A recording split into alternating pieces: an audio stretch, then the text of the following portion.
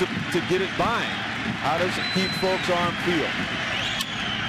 Fly ball hooked to the corner down to the pesky pole. That is a fair ball. And up into the crowd.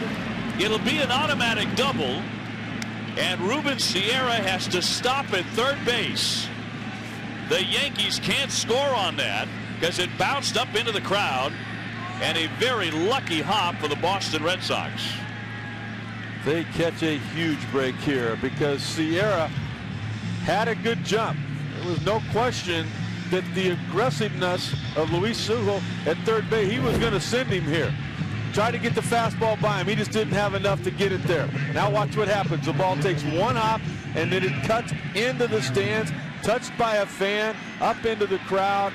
Automatic ground rule double. Sierra back to third base.